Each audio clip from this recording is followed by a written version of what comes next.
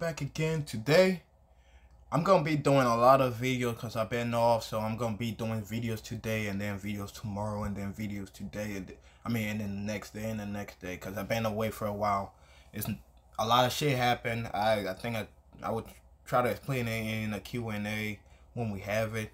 But for right now, let's get it. Today is SCP-4904, Rapid Disc movement sleep. I don't know what that means. This is by Dr. Bob. And without further ado, let's get this started. and his father have spent the entire morning cleaning out the basement of the boy's grandfather, and the boy is absolutely exhausted. After yet another trip up those rickety cellar steps, the boy collapses onto the old living room couch. He can still hear his father puttering around downstairs, yelping and gasping in surprise every time he finds some memento of his childhood stashed among the debris. The boy sighs in annoyance. He doesn't really know his grandfather, so he doesn't feel any sense of loss as they tear through the boxes and bags in the basement. His father, however, insisted that the boy come along. It'll be good for us to spend some time together, he said, and the boy suspects that his father is trying to deal with his own guilt about his strained relationship with the boy's grandfather. Perhaps he hopes that a day of father son bonding is just what they need to make sure that they don't grow apart as his father did with his grandfather.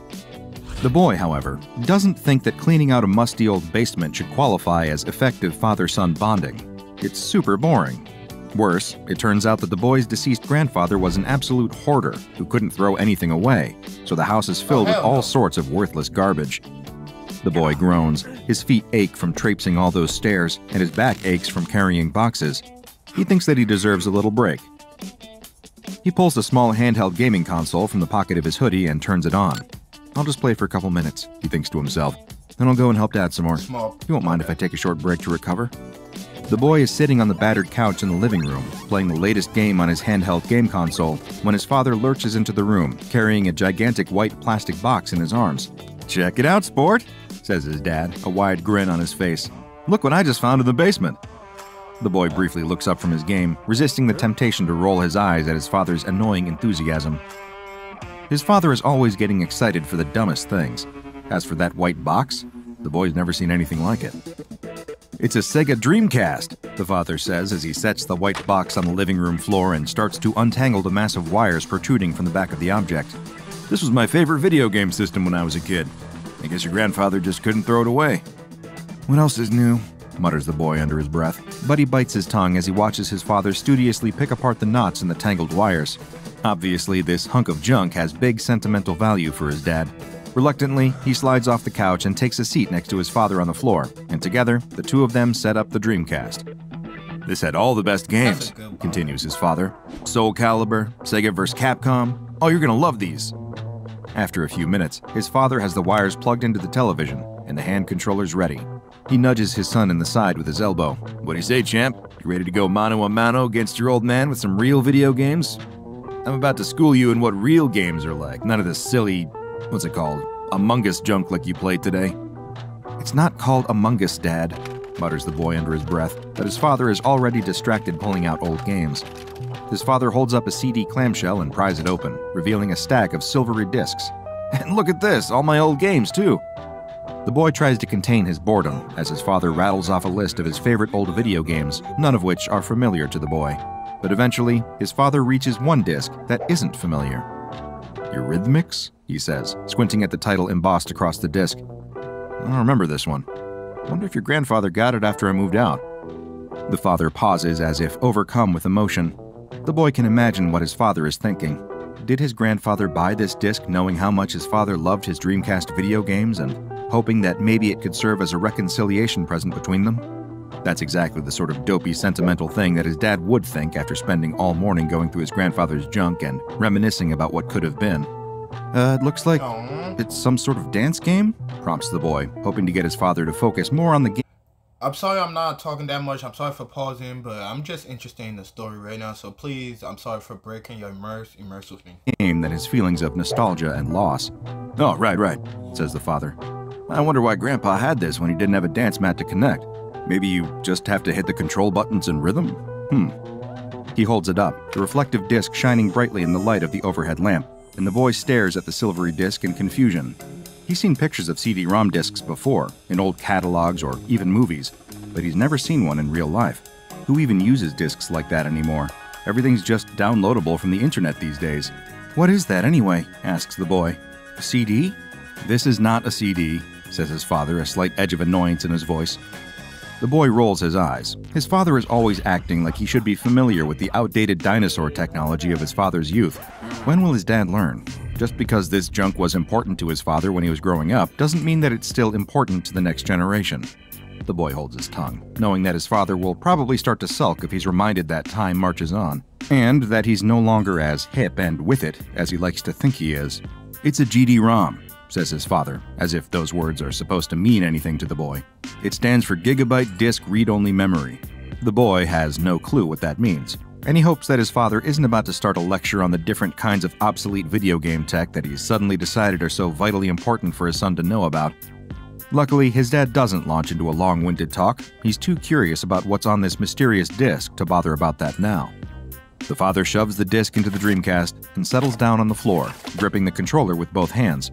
He's as excited as a kid in a candy store as he waits for the screen to boot up. The boy can't remember the last time that his father has been so eager for anything. But his excitement is short lived as the first loading screen boots up. A cheerful, happy melody plays from the Dreamcast speakers. The game title, Eurythmics, flashes on screen with options for one or two players listed below it. The father clicks over to two players, nodding for his son to pick up the other controller. The boy does as he's told. He can't imagine that this game is going to be any good. How old is it anyway? It's from when his dad was a kid, so that's all the way back in the 90s. This game might as well be 100 years old for all the boy cares. Immediately, when the father chooses two players, the screen starts to glitch. The father yells in frustration, throwing his controller to the floor, but the boy sighs in relief. Thank God. At least now he won't have to pretend that this dinosaur game is anything good. I guess it's busted, says the boy, ready to turn away from the Dreamcast. But his father is insistent. No, no, it's just warming up. Watch, I'll fix this. He grabs his controller and tries to click on two players again. The screen only glitches more. Okay, okay, just give me a minute, says the father. If this doesn't work, I'll just take the disc out and blow on it. I'm sure that'll work. The boy stares in confusion. It's a disc, not a cartridge. He doesn't see any way that blowing on it will have any effect. His father is just desperately grasping at straws, upset that his attempt at father son bonding is being thwarted. Meanwhile, the cheerful loading screen music starts to fray, stuck repeating a single reverberating note that gradually degenerates into a tuneless cacophony. The pixels shimmy and wobble on screen, the image fracturing worse and worse as the father struggles to get the game console to respond to his commands. The boy watches the screen with disinterest at first, but then. Wait, what's going on? The more he stares at the screen, the more the random noises and broken graphics seem to form into something strange, something unknowable, but also something vaguely coherent? He blinks in confusion, his jaw dropping. He wants to call his father's attention to the bizarre formations on screen, but his father is too busy wrestling with the controller to notice the effect that he's having. Dad, Dad, look at the screen, says the boy, grabbing his father's shoulder and pointing. Huh? What is it? Did it work? What the? The father furrows his brow in confusion as he notices the wildly oscillating image on the TV screen for the first time. That doesn't look like a Dreamcast game at all. It's all broken, I. I think. The colors swirl around the screen in hypnotic, psychedelic patterns, and both father and son find themselves mesmerized, unable to look away. The boy is only vaguely aware of what computer graphics in the late 90s would have looked like, but he's reasonably sure that no underpowered 90s console could produce something this wild. The boy feels himself getting groggy, his brain fogging over as he stares at the wildly oscillating shapes on the screen. He feels like he could almost make sense of them if he just tried hard enough. No, don't try. I'm sorry. It's like looking at one of those old fashioned magic eye pictures, where the image only collapses into sense if you cross your eyes just right. But these strange swirls of color are something far beyond that. The swirls spiral into distinct vortex patterns to the point that the boy might almost believe that he's looking at eyes. Yes, that's it, he's sure of it. He wants to panic as he becomes aware of the sensation of being watched. He feels like something beyond the screen, some malevolent entity, has somehow gained access to his world via this video game and is now watching him, sizing him up like a predator would size up its prey. He can't think of anything except those staring eyes with their rotating pupils. He wants to fall forward and disappear into the eternal nothingness of those awful eyes. Next to him, his father is silent. Like the boy, he's also enraptured by the infinite eyes on screen. Oh my god, he mutters, so quiet that the boy can barely hear him. Do you. do you see the eyes? It's your grandfather. He's watching us from beyond. I know that's him. The boy doesn't know whether his father is right. His father is probably just letting his guilt color his perception, because the boy doesn't feel like there's human intelligence on the other side of the screen. Whatever is out there, whether it's an alien mind from beyond human ken, or simply a computer program given awful sentience by a freak accident, it's not something that the boy can even begin to comprehend. He feels his mind shutting down in the face of that terror, as if his brain simply cannot take the strain anymore. He's only vaguely aware of his father hitting the floor in a dead faint. That should worry him. He should be frightened. He should want to rush to his father's side and try to shake him back awake. But his brain can't make his body respond. He feels his arms and legs getting weak and his eyelids getting heavy. It isn't long before his eyes drift shut and the boy collapses onto the floor next to his father. Hours later, after the sun has already set, a car pulls up in front of the house and the boy's mother gets out. She frowns as she looks at the front of the house, noting that the lights are on inside, and the front bay window casts a yellow square of light across the front lawn. The boy and his father must still be inside. They were supposed to have finished moving all that junk hours ago. She's tried calling both of their cell phones to remind them that they should be home for dinner, but neither father nor son has answered any of her calls or texts. She's not worried, though. They often ignore their phones when they get really involved in an activity, and she suspects, rightly, that her husband probably found some childhood relic in the basement that's distracted him from getting the task done. She's willing to bet that the two of them probably haven't even finished cleaning the basement. She walks up the garden path and puts her hand against the doorknob. The door creaks open. She frowns. Nothing sinister about that, right? Of course, they wouldn't bother to lock the door if they were still working inside, right? Nevertheless, she feels a strange chill run up her spine. Why is she suddenly so nervous? She pushes open the door and fumbles for the light switch. The foyer is dark, as is most of the house. The only light comes from the living room, and she can see that something within is throwing dancing shadows against the far wall. She hears a toneless, mechanical drone emanating from the living room. Are they watching television? That would be just like them to turn on the tube and completely lose track of time. But what TV show would make an awful din like that? She storms into the living room, ready to read her husband and son the riot act. But then, she stops dead in her tracks. Her husband and son are here all right, but they're lying in crumpled heaps upon the floor, staring glassy eyed at the ceiling. She screams as she rushes to her husband, praying that she's wrong, that they're just playing a prank on her, that they just got tired and lay down on the floor to rest. But as she presses her finger against his wrist, she feels that he's cold and lifeless. He's dead, and has been for hours. Her son, pale and cold and lifeless, lies next to him. She looks up, her gaze connecting with the television screen. It continues to flash vacillating images in an erratic loop, nonsense static that she can't understand. But if she didn't know better, she might almost feel like it's watching her. The strange, swirling eyes stare back, unblinking and eternal. What started as a misguided attempt at Yeah, I father son know. bonding time ended in tragedy because those GD ROM discs weren't ordinary discs at all, but rather instances of what the SCP Foundation has dubbed SCP 4904. SCP 4904 is a set of seven modified GD ROM discs manufactured by the Sega Corporation. SCP Foundation agents have been able to pinpoint the date of manufacture of each disc sometime between 1997 and 1999. The GD-ROM was a proprietary format originally used for the Dreamcast video game console, developed by Yamaha as an answer to fighting the piracy that was rampant among more standard compact discs, and to offer increased storage capacity without the expense of the fledgling DVD-ROM. The GD-ROM seemed promising at the time, as it had a storage capacity of a full gigabyte, 42% higher than conventional CDs. Ultimately, though, GD-ROMs failed to catch on and were quickly outpaced by DVD technology. The seven discs in the SCP Foundation storage are visually indistinguishable from non anomalous GD ROM discs, except for their serial numbers. The serial numbers give some indication of the mystery behind their origin, revealing that they were created by Sega's enigmatic R&D 0 division during the height of the 90s console wars. It is estimated that R&D Zero produced a total of between 60 and 100 experimental GD-ROM disks similar to those in SCP-4904, but the rest of the production line is currently unaccounted for. Each SCP-4904 GD-ROM contains one Sega video game, including Sonic Adventure, Sega Rally Championship 2, House of the Dead 2, Sega Bass Fishing, Godzilla Generations, Virtua Fighter 3 TB, and an unreleased 3D rhythm game by the name of Eurythmics. But the result when anyone tries to play any of these different games is always the same. When an instance of SCP-4904 is fed into a Dreamcast console, it causes the mm-hmm. optical disk drive's reader to move in unpredictable ways, accessing disk data seemingly at random. At first, the game boots up as expected and seems perfectly ordinary, but when a player progresses past the loading screen, the game very quickly becomes illegible. Sprites and assets blend into each other in asymmetrical chunks, maps recursively render onto other maps, and soundtracks transform within seconds into incessant, oscillating noise. A perfunctory glance at the results seems like absolute chaos, but eventually, observers will start to notice patterns within the noise.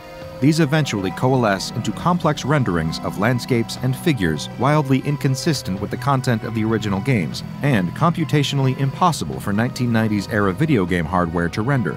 Repeated tests by SCP Foundation agents have turned up a recurring motif in the images shown by SCP 4904 spinning disks that resemble malevolent eyes. SCP agents hope that research into R&D Zero and the man This is responsible for so the disk's creation might help to explain the reason or the purpose of SCP-4904. R&D Zero's former lead hardware programmer Ken Matsuya has said on record that the team encountered numerous problems in implementing the disk's anti-piracy encryption measures. The result was unplayable. Frustrated by this failure, Sega ordered that the encryption project be abandoned and the prototype disks quietly destroyed. However, it does not appear that Sega's orders were carried out to the letter. Matsuya himself rescued seven of the discs, hoping to learn more about the issue on his own time, and it's possible that other discs not currently known to the Foundation also survived. With the help of improvised Sega hardware, Matsuya spent the next four years trying to understand the cause behind the disc's erratic behavior. Notebooks recovered from his apartment contain numerous sketches of the disc generated visuals depicting fractal combinations of landscape and figures seemingly drawn from places outside of the game data themselves, and stylized spinning discs in the shape of eyes. Matsuya himself met a strange and untimely end when he was found dead from a heart attack in his apartment in August 2003. Stranger still, an autopsy revealed that large portions of his brainstem and limbic system were missing. His death puzzled authorities since there was no evidence of any human, or even non human, intrusion. Matsuya had apparently loaded one of the SCP-4904 instances in his possession into his home Dreamcast before his death, because the distinctive psychedelic visuals were playing on his television screen at the time that his body was discovered. Foundation agents suspected that the visuals might have some connection with Matsuya's death, leading to the disk's subsequent classification and containment, but intensive tests on SCP-4904 by Foundation personnel have failed to shed any light on the situation. Both the disc's strange behavior and Matsuya's death remain complete mysteries. Is SCP 4904 a gateway into some other dimension, and its bizarre images a signal from another world? Could it be a message from beyond the veil? Or is it all just due to a simple computer glitch and Matsuya's death just a freak coincidence? Whatever the case, the Foundation is doing its best to uncover the truth. SCP 4904 has been given the object class safe, but should be stored in conditions comparable to those needed to keep non anomalous disks viable. All seven instances of SCP 4904 are kept in a climate controlled safe class storage locker at Site 15. Long term tests lasting over an hour should only be conducted on reinforced, modified hardware to prevent disk deformation or explosion. If you want to support our important mission while also getting influence over the anomalies we cover and an exclusive look behind the scenes, check out the Dr. Bob Patreon and become a junior researcher today. Y'all heard him. Go to Dr. Bob. Now go and watch another entry from the files of Dr. Bob, like SCP-674, the exposition gun makes Nintendo real life, for another nightmarish twist on a nostalgic piece of gaming hardware. And make sure you subscribe and turn on notifications so you don't miss a single Dr. Bob, how anomaly as we delve further and further into the SCP Foundation's classified archives. Yeah, that'll be me too. I'll be like, huh? Dr. Bob? Who the what? Where your face at, Dr. Bob? Okay, everybody, everybody. The boy and his father have- I'm sorry for not talking so much. I would just focus and immerse. Like immerse into the video because that was interesting as fuck. Like, comment, subscribe to Dr. Bob. Like, comment, subscribe to me.